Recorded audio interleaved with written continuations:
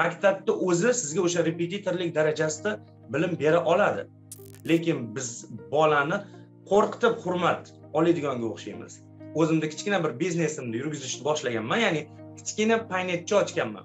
O'zbekcha nomi eshitildi. Keyinchalik ekranda nomimni ko'rganimdan keyin katta monitorda bu narsa umuman kutilmagan holat bo'lgandi. Bola bilan faqatgina ingliz tilida gaplashish. Biz grammatika o'qitmaymiz. Komissiya yoki boshqa odamni fikri qiziq emas o'qituvchi uchun.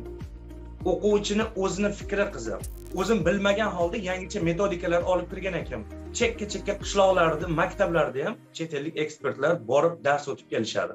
O'zbekistonga qaytish niyatingiz bormi? Bular haftalik qilib to'lashadi. Haftasiga shu to'rt yuz besh yuz dollar atrofida chiqadi. Bog'chada uch yoshli to'rt yoshli bolachalarga dars berishdan ishni boshlaganman faoliyatimni yes rock paper scissors. Very good. Rock paper scissors. Bir qarashda shovqinli muhit o'qituvchi va o'quvchi o'rtasidagi haddan ortiq erkin va samimiy muloqot. Asli farg'onalik ingliz tili o'qituvchisi dostonbek siddiqovning vyetnam maktablaridagi dars jarayoni odatda shunday o'tadi. Bundan besh yil oldin shunchaki vizani yangilash uchungina vyetnamga borgan dostonbek u yerda qolishga qaror qilgan. U kun uzga bergan intervyusida vyetnam ta'limi bilan bog'liq qiziqarli ma'lumotlar va u yerdagi faoliyati haqida gapirib berdi. Aynan vyetnamga kelib ishlayman degan niyatim bo'lmagan. Ungacha man bir xitoyda ishlab yurganman. O'rtada vizamni yangilashim kerak bo'lib boshqa davlatga chiqishim kerak bo'lgandi. Vyetnamga keldim odamlarni ko'rdim tabiatni ko'rdim. Umuman bu madaniyat bizdagi madaniyatga o'xshash madaniyatni ko'rganimdan keyin shu yerda qolishga qaror qabul qilganman. Ungacha yana bitta ikkita davlatlarga chiqdim ozginadan ishladim. Tailand malayziya kambodja.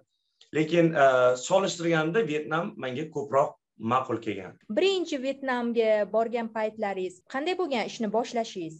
Birinchi yetib kelgan paytimda ozgina baribir yangi madaniyat yangi odamlar til har qayerga borganingizda ham boshqa bir faktorlar sizga ta'sir qiladi. Moslashish kungacha bo'lgan davrda ish topish biroz qiyinlashadi. Chunki ishga borasiz ish so'raysiz ular albatta to'g'ridan to'g'ri haligi rezyumega qarab turib ish berisholmaydi ular avvalo demo klass ya'ni bitta dars o'tib ko'rsatib berishingiz kerak bo'ladi. Endi yangi madaniyatdagi bolachalar yangi o'qituvchilar yangi environment deymiz yangi atmosfera. Dars o'tishda sal qiynalganman boshida. Ish topish ham biroz qiyin bo'lgan va majbur bo'lganman bog'chadan boshlashga. Bog'chada uch yoshli to'rt yoshli bolachalarga dars berishdan ishni boshlaganman faoliyatimni. Ungacha bo'lgan faoliyatim o'zbekistonda akademik litseyda yuqori sinf o'quvchilari bilan bo'lganligi uchun bog'chada mani qiynagan bitta ikkita narsalar bo'lgan ya'ni e, darslarim biroz jiddiyroq chiqqan. Va o'qituvchilar o'sha yerdagilar aytishganki yo'q san o'yinga raqsga tushishing kerak san o'yin o'ynashing kerak deganda man maymun emasman o'qituvchiman deb jahlim chiqqan. Lekin keyinchalik boshqa o'qituvchilarni kuzatib qanaqa qilib dars o'tishlarini bolaning ta'limida bola o'qitishda bu narsa juda yam muhim faktorligini tushunganman. Keyin keyin biroz qiyin bo'lgan bu narsani o'zlashtirish ya'ni bolachalarni chekirib olib raqsga tushish bu juda yam oson bo'lmagan boshida. Vyetnam ta'lim tizimi haqida ikki og'iz. Bizni ta'lim tizimimizga o'xshaydimi? Qanaqa ularda? Bizni ta'lim sistemamizda e, meni nazarimda endi endi Э, xuddi ta'limga e'tibor qaratilayotgandek tuyuladi. Oldin endi bizda bir qancha ishlar bo'lgan o'qituvchilar o'zini ishi qolib boshqa ishlarni ham qilishga majbur bo'lgan. Lekin bu yerda bu narsa ancha oldin boshlangan ya'ni e, savodsizlik juda yam yuqori bo'lgan davlat. Urushlar bilan ovora bo'lib ta'lim ololmagan davlat o'shanda hochimin aytganki savodsizlik bu e, har qanday dushmandan ham kuchliroq narsa bu. Mana shundan keyin bular o'sha najot ta'limda degan narsani oldilariga shior qilib olishib e, judayam bir tezlik bilan shiddat bilan ta'limni rivojlantirishga harakat qilishgan. Lekin e, ikki minginchi yildan boshlab e, bu holat yanada tezlashib ketgan. Ya'ni xorijiy ekspertlar vyetnamga kirib dars o'tishni boshlashgan. ikki minginchi yilda ya'ni biz o'sha paytda man maktab o'quvchisi bo'lib yurgan paytimda bu yerda allaqachon chet ellik o'qituvchilar ingliz tilida dars berib yurishardi. Hozirgi paytda aytishim mumkinki vyetnamda eng haligi qoloq chekka chekka qishloqlarda maktablarda ham chet ellik ekspertlar borib dars o'tib kelishadi. Bu yerdagi ta'lim tizimi bizniki bilan deyarli bir xil. Ya'ni bog'cha primary school ya'ni boshlang'ich maktablar e, o'rta maktab va albatta yuqori sinflar high school deyiladi. Bular majburiy ta'lim. Ya'ni bulardagi majburiy ta'lim o'n ikki yillik hisoblanadi va har bitta maktab alohida alohida joylarda joylashgan bo'ladi. Ya'ni hech qaysi maktab boshlang'ich bilan o'rta maktab yoki yuqori maktab bitta joyda bitta binoda joylasha olmaydi. Boshlang'ich o'quvchilar birinchi sinfdan to'rtinchi sinfgacha alohida keyingi o'rta sinflar alohida maktab alohida binolarda o'qishadi. Sinflarda qirqta ellikta bu maktabni o'sha joylashuv o'rniga qarab turib oltmishtagacha bola o'tirishi mumkin. Yuqori sinflar odatda ellikta ellik beshta o'quvchi o'tiradi. Lekin e, bitta narsaga e'tiborimni tortadiki doim yuz foiz davomatni ko'rasiz. Shunaqa bola e, maktabga intiladiki bolani haligi ertalabda bizda dangasalik bo'lardi boshim og'riydi. O'zim ham shunaqa dangasa bo'lganman. Boshim og'riyapti bugun maktabga borgim kelmayapti lekin bu yerda unaqa narsa yo'q. Har bitta maktabga kirib kirishda maktab e, school is fun degan narsani ko'rasiz. Ingliz tilida school is fun degani maktab bu e, xursandchilik zavq shavq degan deb tarjima qilinadi va bu haqiqatdan ham shunday. Bu shunchaki shior emas bola maktabga kelishni juda yam yaxshi ko'radi. Chunki o'qituvchilarni yaxshi ko'radi. U yerdagi qolgan do'stlarni yaxshi ko'radi. Bolani bezdiradigan narsani siz ko'rmaysiz maktablarda. Kerak bo'lsa bolalar bilan o'qituvchilar tiktoklar uchun videolar qilib yotishadi yoki bo'lmasam birga rasmlarga tushishadi kerak bo'lsa bir qanaqadir aktivitilarda mashg'ulotlarda o'yin bo'lsa o'yin yoki bo'lmasam raqs bo'lsa raqs qilib ketaveradi birgalikda. Devor yo'q emas devor bor hurmat devori bor. Lekin hamma o'zini me'yorini ya'ni limit darajasini biladi. Shuning uchun bolani e, maktabdan bezdiruvchi omillar ko'rmaysiz maktabda. Bola shuning uchun maktabga kelishga intilib turadi. Endi bu yerda asosiy e'tibor aniq fanlarga qaratiladi. Aniq fanlar ya'ni matematikada bular haqiqatdan ham judayam judayam zo'r. Birinchi sinfdan boshlab matematikani boshlashadi. Matematika darsi har kuni e, sizni jadvalingizda bor. Keyinchalik qo'shilgan narsa bu ingliz tili. Ingliz tili va boshqa tillar ham hozirgi paytda yana qo'shib kirib kelinyapti. Ya'ni maktabda boshqa tillar fransuz tili rus tiligacha o'rgatishadi. Lekin ingliz tili darslari ularni matematikasiga o'xshab har kuni ularni e, jadvalda bor. Ya'ni har kuni ular ingliz tilini o'rganishga majbur. Maktabni o'zi sizga o'sha repetitorlik darajasida bilim bera oladi. Lekin shunday bo'lsada ota ona e, bu narsadan qoniqmaydida bolasini olib maktabdan qo'shimcha darsga ya'ni o'sha e, repetitorlik qilayotgan o'qituvchini uyiga olib boradi. Bola bilan ota ona shunaqa zo'r shug'ullanadiki e, bizni ota onalarimiz gap gashtakda yurganda ko'cha kuyda yurganda bular biror bir vaqtini behudaga sarflamaydi. Ishini tugatadi uyiga qaytadi bolasi bilan shug'ullanadi. Bolasi bilan allamahalgacha soat o'n ikki bir ikkiga qarab ketadi soat lekin bolasi bilan vazifasini qilib bo'lib keyin uxlashadi. Ertalabda soat oltida turadi bolani maktabga olib borib tashlaydi o'zlari ishga ketadi. Mana shunday hayot e, judayam bir band tarzda davom etadi bolani hayoti bu yerda. Aholini ko'pgina qismi oddiy ishchilar oddiy ishchilar va bular o'zlarini hayoti qanday o'tayotganini qanday o'tganini juda yam yaxshi bilgan odamlar. Ya'ni qanchalik qiynalib pul topayotganini bilgani uchun ham qanaqa qiyinchilik bo'lishidan qat'iy nazar bolasiga bilimni yetkazib berishga harakat qilyapti. Ya'ni ota ona boy emas oddiy ishchi fabrikada ishchi. Ular ikki yuz dollar topadimi uch yuz dollar topadimi ota ona harakatdan to'xtamaydi. Kerak bo'lsa ta'tilsiz ishlashadi kerak bo'lsa yakshanba kunsiz ishlashadi har kuni ishlashadi. Lekin bolani ta'limi uchun kerak bo'lgan pulni yetkazib berishadi. Vyetnamda o'qituvchi bo'lish oson va qiyin tomonlari. Aytaylik yaxshi va yomon tomonlari ho'p o'qituvchi bo'lishni yaxshi yomon tomonlarini ko'proq man yaxshi tomonini ko'rdim xolos. Birinchi navbatda to'g'ri oyligingiz unaqa darajada sizni boy qilib yuboradigan darajada emas lekin sizdagi bu kasb e, ko'chadagi jamiyatdagi o'rningizni mavqeingizni juda yam ko'taradi. Ya'ni aytaylik biror bir joyda navbatda turibsiz va sizni agar birortasi o'sha navbatda turganlar ichidan tanib qolsa tezda ustoz ustoz ustoz deb sizni e, navbatni boshiga olib chiqib qo'yishlari mumkin. Bu narsa o'zimni holatimda ham bir necha bor bo'lgan ya'ni bankka kiraman bankda kimdir tanib qoladi. Yo bo'lmasam bankdagilar allaqachon biladi man o'qituvchiligimni tezda tashkillashib mani tezroq o'sha yerdan chiqarib yuborishadi. Ishimni bitirib. Xullas e, jamiyatdagi o'rni ya'ni o'qituvchini mavqei juda yam baland. Hurmati juda yam baland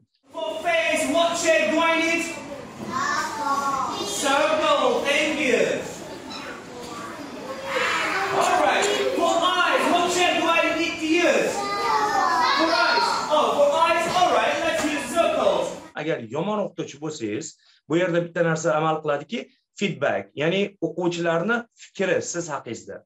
Bu yerdagi eng yaxshi ko'rgan narsam e, ular o'quvchilarni eshitishadi. Agar o'quvchilar siz haqingizda yomon feedback beradigan bo'lsa sizni ko'p ushlab turishmaydi. Tezda u sinfda boshqa birovga berishadi boshqa o'qituvchi topishadi. Bolaga kerakli bo'lgan narsani bera olmayapsizmi? Bolaga siz kerak emassiz. Ular tezda e, borishadi va shikoyat qilishadi. E, eng qizig'i ularni eshitishadi. Ha endi bu bolada degan narsa yo'q. Ularni eshitishadi.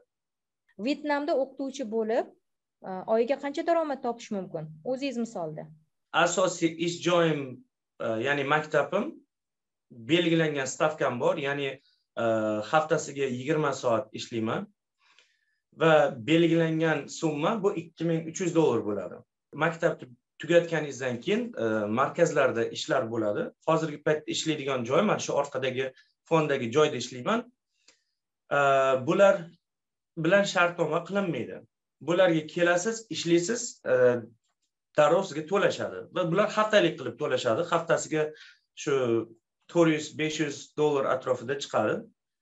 Haftalik daromadingiz chiqimlaringiz boshqalaringizdan tashqari uch yarim ming to'rt ming dollarda atrofida pul topsa bo'ladi. O'qituvchi sifatida odatiy kuningiz qanday o'tadi? Dam olish kunlaringiz? Hozir e, manda dam olish kunim yo'q. Dam olish kunim yo'q. Maktablarim dushanbadan jumagacha ishlaydi lekin markazim e, bizda dam olish kuni yo'q. Har kuni kechqurun oltidan to'qqizgacha dars shanba yakshanba kunlarimiz kun bo'yi. Ertalabdan boshlanib chunki bola uchun ham ta'til kunku. Shanba va yakshanba kunlarimiz darslarimiz ko'payadigan payt Э, ertalab turganimda odatda hozir biz э, xorijiy ekspertlar ertalabda dars o'tishmaydi. Lekin e, bu degani manga e, dam emas. O'zbekistonlik o'quvchilarim bor. Ya'ni onlayn darslar tashkillaganmiz. Ertalabda e, mana shu onlayn darslarimizni boshlaymiz. Soat sakkizdan boshlab o'n bir yarim o'n ikkigacha. Keyin kiyinib maktabga borish kerak. Soat bir yarimdan soat beshgacha maktabda bo'laman.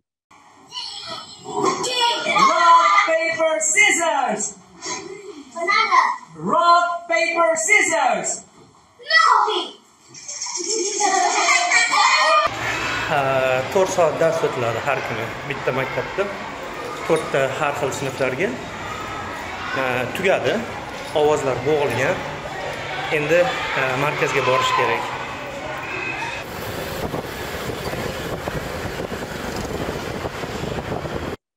keyinchalik o'sha e, maktabdan kelib e, markazimda dars berishni boshlayman. Soat oltidan to'qqizgacha.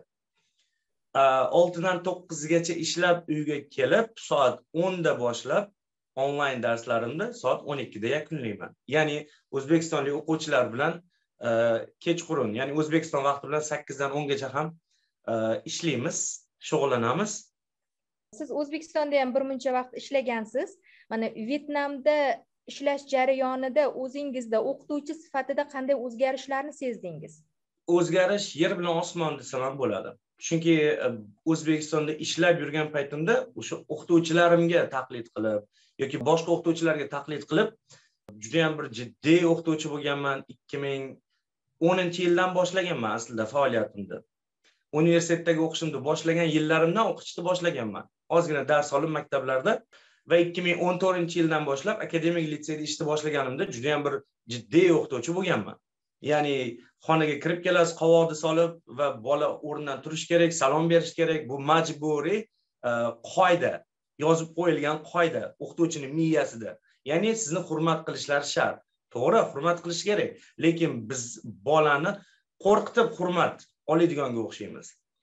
Lekin bu yerga kelib bu narsalar oddiy holga aylanib qoldiki birinchi navbatda bola bilan ishlash. Bolaga dars berishdan oldin bolani seva olish. Bolani yaxshi ko'rib bola bilan e, yaxshi bir aloqalar rishtalar o'rnatib olganingizdan keyin bola sizni qo'rqib hurmat qilish emas balki yaxshi ko'rib hurmat qilish bu boshqa boshqa narsalar. O'qituvchini o'z ustida ishlashi uchun maktablarda ham sharoit ularga muhit yaratilgan bo'lishi kerakda. Vyetnam maktablarida E, o'qituvchilar uchun ular o'z ustida ishlashi uchun qanday sharoitlar yaratilgan? Qog'ozbozlik qismlari bor. Bizniki bilan bir xil. Bular ham xuddi shunday qog'ozbozlik ishlari bor. Lekin bitta narsa borki komissiya deymiz bizda komissiya kelib tekshiradi deymiz. Lekin bu yerda yiliga faqatgina bir marta yo ikki marta keladi va bular biladi qachon kelishini. Chunki oldindan ogohlantirib keyin kelishadi. Dab turustdan kelib dars o'tayotgan o'qituvchini qo'rqitib ularni hujjatini tekshirib haligi konspektni tekshirib unaqa narsa yo'q nima uchun chunki komissiya yoki boshqa odamni fikri qiziq emas o'qituvchi uchun o'quvchini o'zini fikri qiziq ular qanday dars o'tayotganini qog'ozga qarab emas balki o'quvchidan so'rab turib bilishadi o'quvchi siz haqingizda yetarlicha ma'lumot bera oladi chunki o'quvchi sizni yaxshi biladi qog'ozlar aytib bera olmaydi qanaqa o'qituvchiligingizni mana shunday sharoitlar qilib berilgan ya'ni faoliyatingizga birov kelib tekshirmaydi. Dars o'tayotgan paytingizda hech kim sizni bezovta qilmaydi. Yana bitta bir boshqa sharoit o'qituvchi uchun siz bolani intizomi bilan qayg'urmaysiz. Ya'ni kimdir sho'xlik qilyapti yoki boshqa narsa qilyapti siz uni bilan ishingiz bo'lmasligi kerak chunki ularni o'zi alohida kuzatib turuvchi odamlar bor. Ya'ni har bitta xonada kamera va kolonkalar mavjud. Kimdir sho'xlik qilyaptimi siz unga borasiz besh minut leksiya o'qib qolganlarni vaqtini o'g'irlashga siz haqqingiz yo'q. Deylik bola telefon o'ynab o'tiribdi. Siz u bilan qayg'urmang. Chunki agar tepada kuzatib turgan e, odamlar u bolani ko'rib qolsa tezda u bolani kolonkadan chaqirishadi. Ism familiyasini aytishib mana bu xonaga kelgin deyishadi. Bola sekin chiqib ketadi telefonni olib. Maxsus bo'limlar bor maktablarda. Doimiy ravishda juda yam katta bir monitorda har bitta xonani kuzatib turishadi. Xorijlik o'qituvchilardan nimalar asosan talab qilinadi? Xorijiy o'qituvchilardan talab qilinadigan narsa asosan shu bilim. Bolani qiziqtira olish bola bilan faqatgina ingliz tilida gaplashish. Biz grammatika o'qitmaymiz.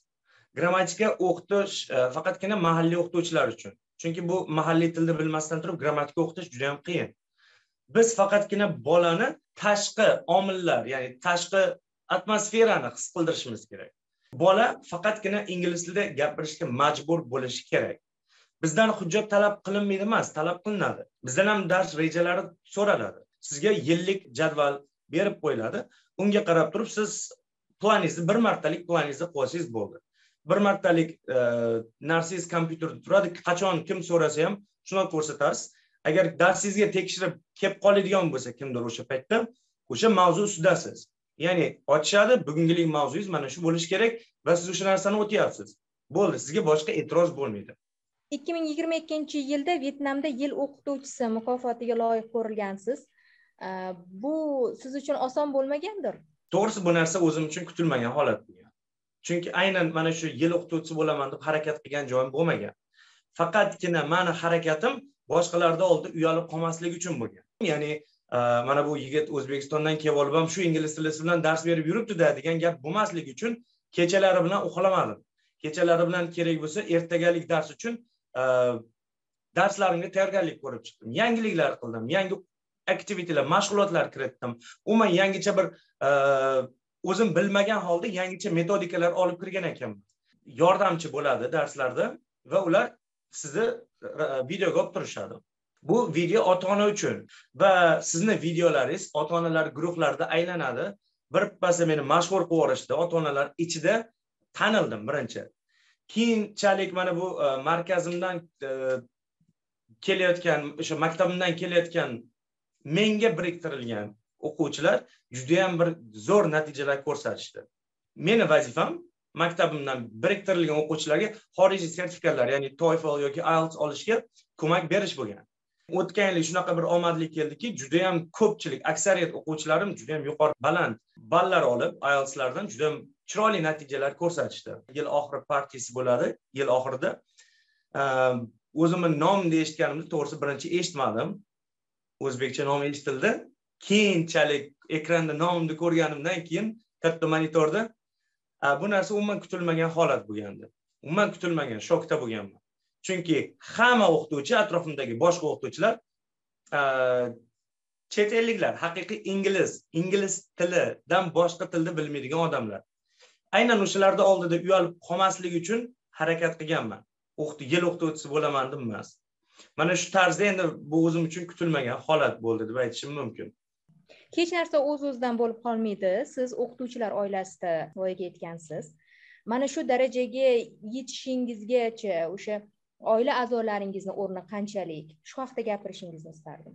Ota onam yoki buvim bular hammalari ta'limdan chiqqan odamlar. Uyimda generali buvim bo'lishadi. Umrlari uzoq bo'lsin. Hamma narsani buvim orqali hal qilamiz. Deylik birinchi yil o'qishga topshirganimda kirolmaganman. Chunki man tarix va matematika o'qib turib to'g'ri kelib ingliz tilini topshirganman. Nimaga? Bilmayman. Qaysi xayol bilan bilmayman. O'zim tarixga yaxshilab ona tilini yaxshilab o'qib turib umuman ingliz tilini o'rganmagan holatda kelib turib hujjatlarimni ingliz tilida topshirib ketganman yiqilganman. Bundan keyin man o'qishdan sovib bo'ldi man o'qimayman deganman chunki man o'zimda kichkina bir biznesimni yurgizishni boshlaganman ya'ni kichkina paynetcha ochganman.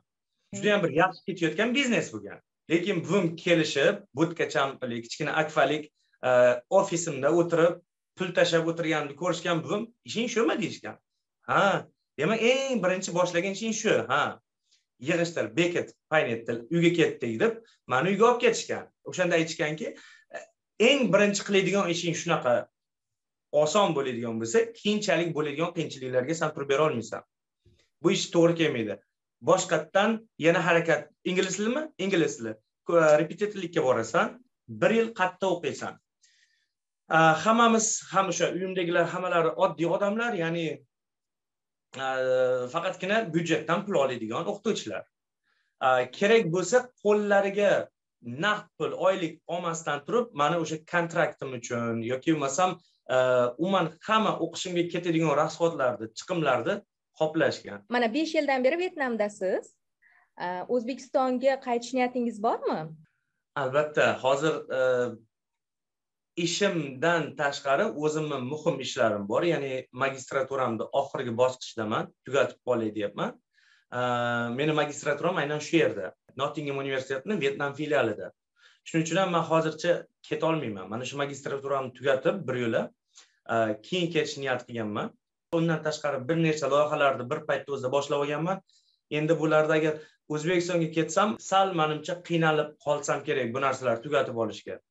Shuning uchun e, ozgina vaqt kerak va albatta qaytaman.